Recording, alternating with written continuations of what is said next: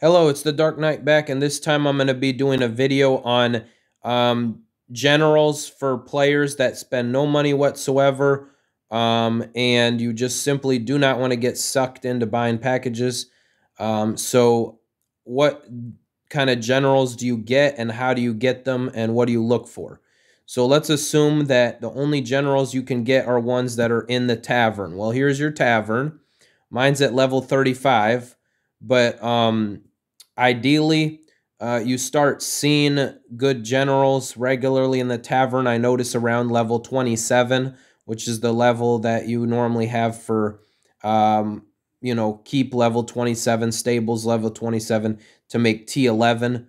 Uh, so basically, um, yeah, so so get your tavern to at least 27 before you even start looking. Really, you want it at 30, 33, 35. The higher, the better. But get it as high as possible before you actually start. Because if you start refreshing using gems and your tavern is low, you're literally just burning up gems for no reason. You're just killing yourself. So let's just hit tavern and then we're going to hit recruit. If we go to portraits down here, it will show us all the available generals. Um, you can click on each one and see what their buffs are. You know, let's say I go to Europe, the first one. Let's say I want to see what Roland. I can just click on him. Um, it tells you how much gold he costs. It tells you the the buffs that he has, the special skills when it's maxed out. Um, so yeah, uh, there's a lot of. Um, hold on one second. This thing is in the way.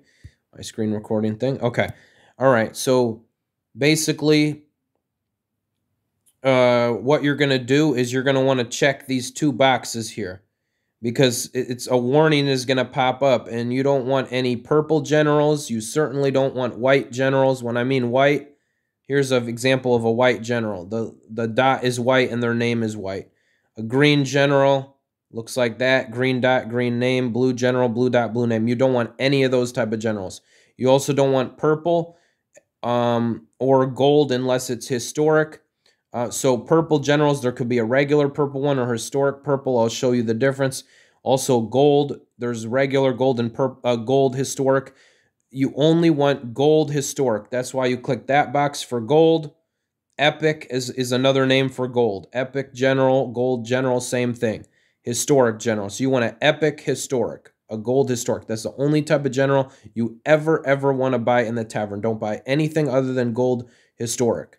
Uh, so what you're going to do is hit refresh. Yes, it costs gems. So here's an example of a purple historic. If it has a crown on it, a little tiny crown right here above the, um, you can see right here uh, where I'm trying to tap, right above that little purple circle, there's a crown. His name is also in purple and there's a little emblem here.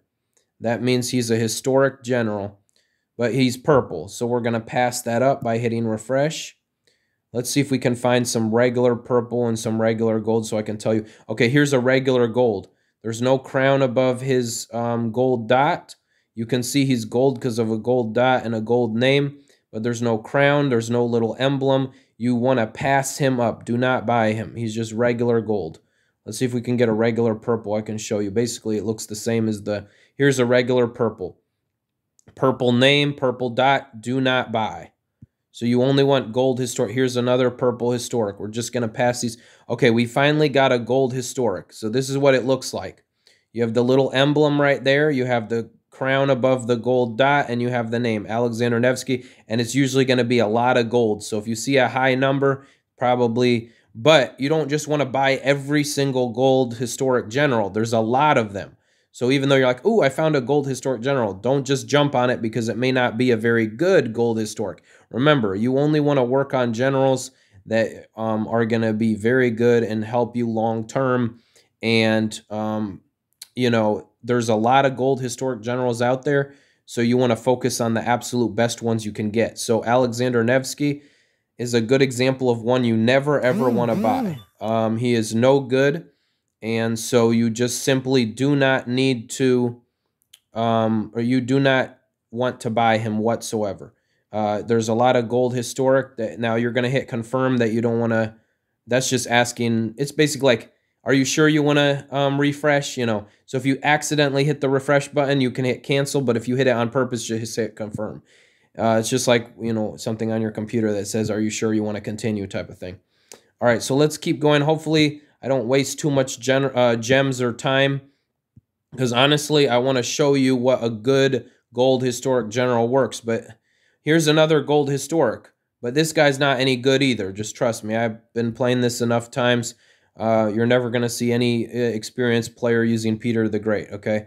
Um, so uh, let me keep going here. Hopefully we see um, one that's at least decent so I can tell you an example. But uh, basically, I'll stop for a second to tell you which ones you're going to be looking for. So for mounted, and there's all kinds of opinions, but I'll tell you mine um, you want to look for Roland and, um, well, Martinus and Roland, really. Um, uh, Martinus needs a dragon to work properly.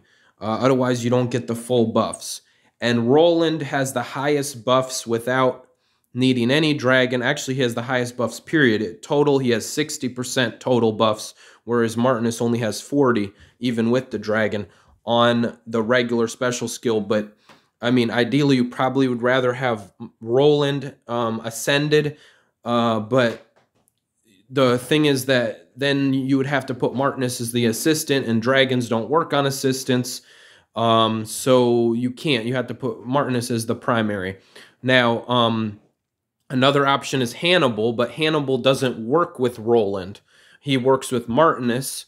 So um, you can put Hannibal, but Hannibal's buffs are lower than Roland. So Roland works with Martinus, Hannibal works with Martinus, but Roland has higher buffs than Hannibal for the regular special skill um, if you're not going to send them and just use them as a assistant. So really you want Martinus and then Roland as the backup. Um, from what I remember uh, from looking into it, this Roland and Hannibal don't work together, so don't use them together. But yeah, that's basically who you want for mounted. Um, be careful, the mounted troop attack skill book does not work on Martinus. So if you put it on Roland, you cannot use Martinus. Um, and you cannot put it on Martinus. So another option I could suggest is maybe using Roland with another mounted general so that way you can use the mounted attack buff. Maybe if you get a good mounted general from a package. Um, I recently told a new player to use Roland with Zhao Yun because he decided he decided he was going to spend some money. I told him, hey, buy this package. You can get Zhao Yun guaranteed. Zhao Yun is the top, probably top rated mounted general in the game, other than I think Mordred is number one, I think but um, he's hard to get. So Zhao Yun is pretty easy to get. Um, you can get him from the King's exhibition right now, uh, or, or when it was going on. So in that case, you would use Roland as the primary and then Zhao Yun as the assistant, since Roland is found in the tavern, so you can ascend him easier. And because the mounted troop attack skill book works on both of them, and you really want that skill book. So if you get Roland and somebody, now he doesn't work with George Custer, so don't put George Custer with um Roland. Uh, so I would recommend Roland with Zhao Yun and ascending Roland, or Custer with Zhao Yun if you spend money. But um yeah, or you could just do Martinus with Roland. But just be careful that they work together. But this video is for um using uh th- this is for just tavern generals. So I'm going into way more detail, but what I was trying to say is if you're just doing the tavern for mounted, you want to use um, probably Martinus with Roland. And then uh, for ground, you want to use, there's really only one even feasible combination. Uh, you're going to want Trajan as the main, and you're going to want Yue Fei as the assistant uh, from the uh, the tavern. For ranged, um, you can either get Electra from Relics or you can get Minamoto from the tavern. And either way, you want to put Nar as the assistant.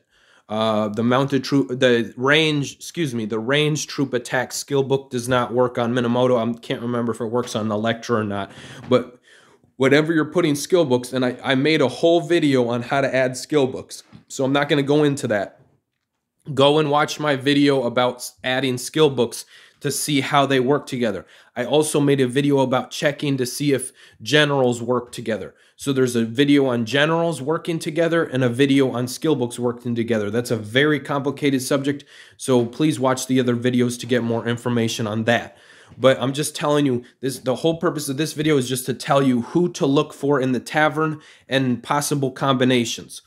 Um, and then uh, for ranged, oh, that is ranged, I just said. Okay, for siege, honestly, I'm sorry to say this, there's not really very many good siege generals in the tavern. They're all in packages for the most part, the good ones like Patronus, Septimius Severus, um, Napoleon, Philip II, um, Zuka. These are the best siege generals in the game, and they're all package generals. Um, I think who's the other one? A Simeon the Great or something. But um, you you really for siege there is one option. Uh, his name is Ulysses S. Grant. The only problem with him is that he needs a dragon to be in full effect, and um, if you don't spend money, you're probably just gonna get two, maybe three dragons um, and the and the Celtic Demon is for ranged, and then the Fafnir is for mounted, and then if you do get Wonder unlocked um, by being really good in PvP and F- SVS, um, yeah, you could get the Norway Ridge, but he's that's a ground dragon. So, I mean, even Ulysses S. Grant needs a dragon, and you don't really have a good dragon option if you're using the other ones.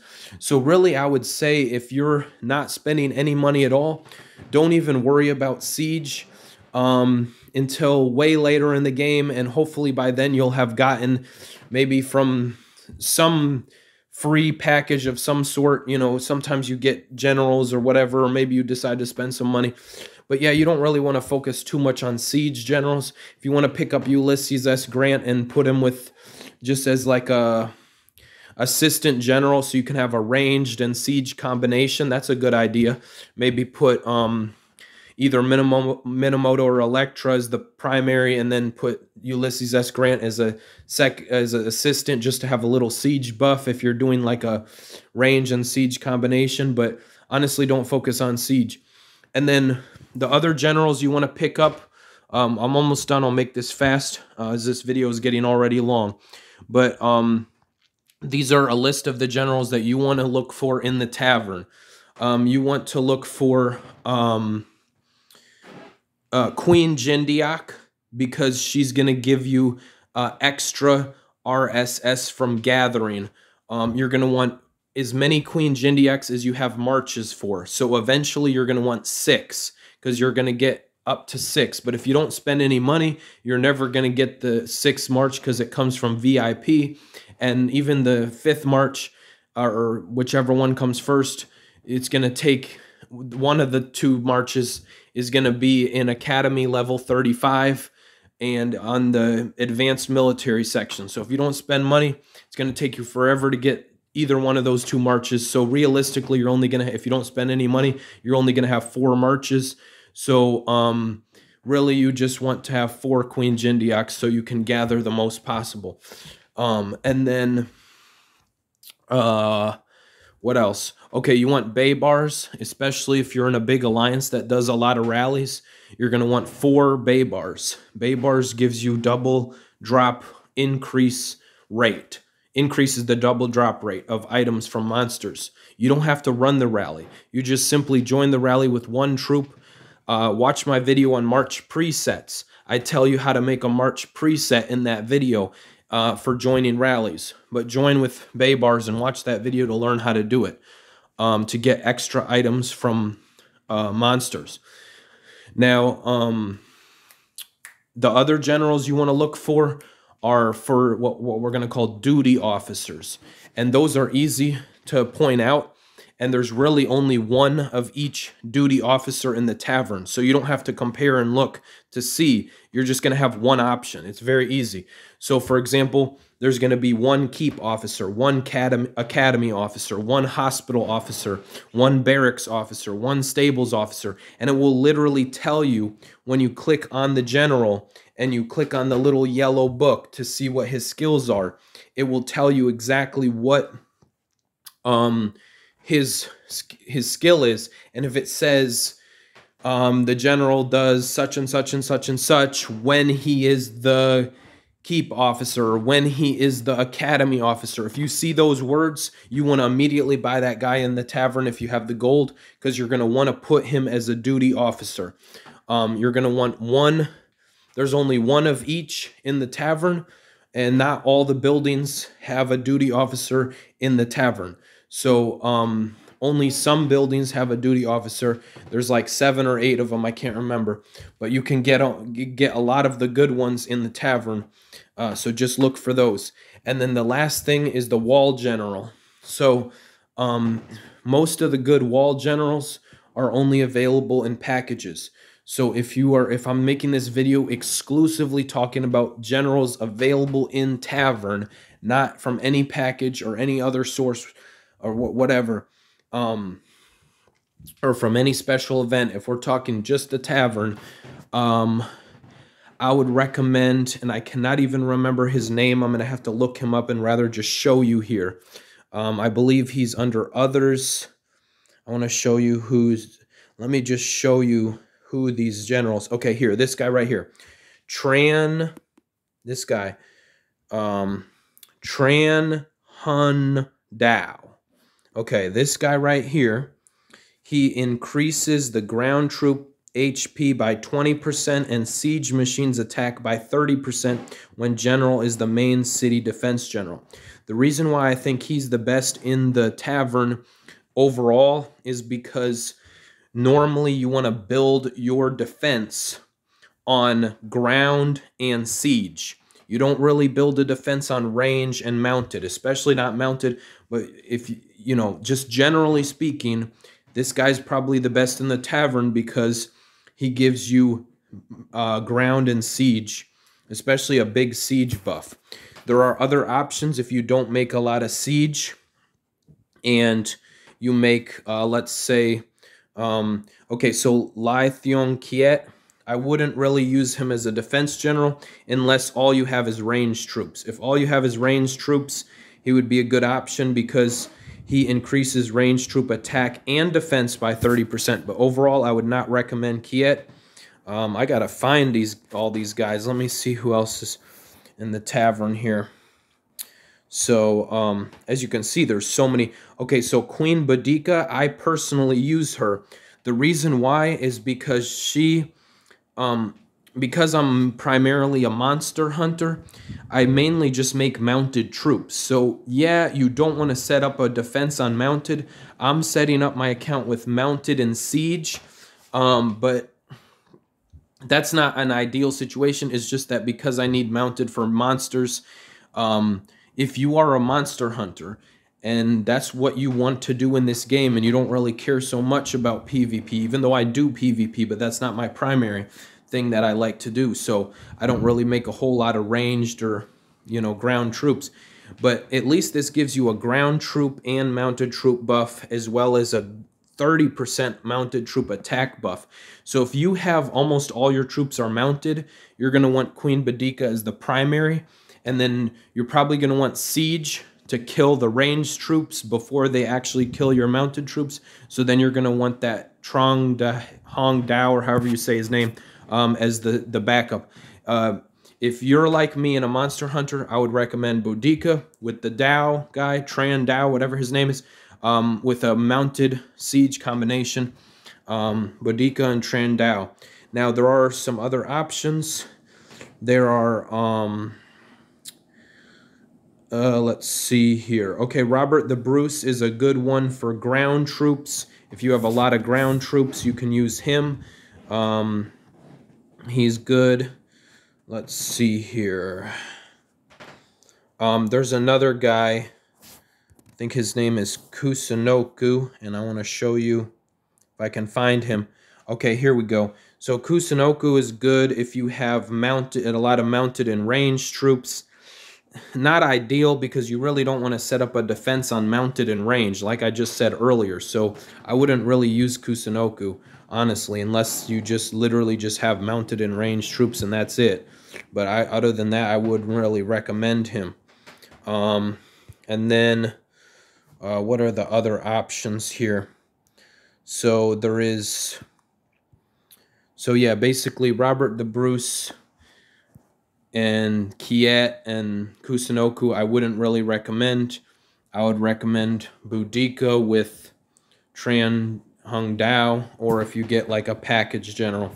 And actually, there's one last thing that I didn't mention is sub city generals. So, um, uh, that that's something that you really don't have to worry about until you're a larger account because you're, until your sub cities get to a reasonable level, they're not going to really do much for you, but they help. So, I mean, you're going to want these sub generals eventually. So, um, but if you only, there's a lot of good sub generals in the in packages, of course, again. But again, if you're just doing um, tavern only, let's say you want to get all your generals from the tavern um, and make it easy to ascend them, because again, you can ascend your generals a lot easier if they're in the tavern because you can get them for free.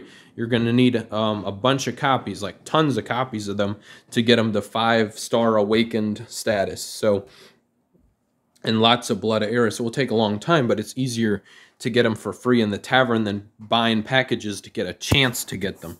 It's very expensive. So the top um, sub city, subordinate city, if you don't know what I mean by sub, is subordinate city. Uh, generals in the tavern, in my opinion, the number one is Arminius. In the tavern, I believe he is the top sub general in the tavern. Um, so here, Arminius. Um, he reduces enemy ground troop and mounted troop HP by 10%, as well as the enemy ranged troop and siege machine attack by 15%. This is why I think he's the best in the tavern. He gives you a 15% debuff on enemy ranged troop and siege machine attack both. And as you know, most P as you might not know, but most PvPers you that are going to attack you are going to use ranged and siege. Um, so basically, he really helps protect. Besides Arminius, another great one is Harold. Um, Harold reduces all of your enemy troops attack by 10% as well as all enemy troops HP by 10%. So he will protect you from any type of troops. So Harold, Arminius, um, the other good ones, uh, Baldwin is very good, but he's only um, available in packages. Mark Anthony is very good, but he's only available in packages. Um, another one is Margaret. She's not so good, but she's available in the tavern. And if you have nothing else, um, that's still pretty decent.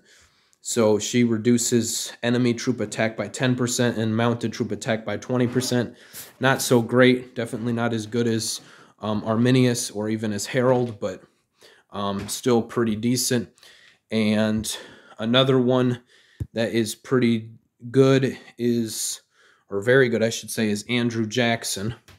Um, he reduces enemy range troop attack by 20% and mounted troop HP by 20%. So um, let's look at what my sub generals are so you can see. So I have Andrew Jackson Andrew Jackson, both available in the Tavern, Arminius, Tavern, Harold, Tavern, Margaret, Margaret, Tavern, Arminius, and then Baldwin. I actually have another copy of Baldwin, but I don't have all the skill books on him that, that I need. Eventually, when I get all the skill books, I will replace one of the Margarets with Baldwin. But really, um, Arminius, Margaret, Harold, Andrew Jackson, those are the only four that I would buy in the tavern. I would stay away from Margaret unless you can't just get more uh, Andrew Jacksons and Arminiuses, which I just haven't gotten. So I wish I had all. Uh, I wish I had Arminius instead of Margaret. It's again new account. Eventually, I'll probably replace them. If you do get a sub general from a package, Baldwin the Fourth and Mark Anthony are very good. But anyway, this video has gone very long, but I just wanted to make sure that you knew exactly what generals you should be looking for in the tavern as a player that spends no money.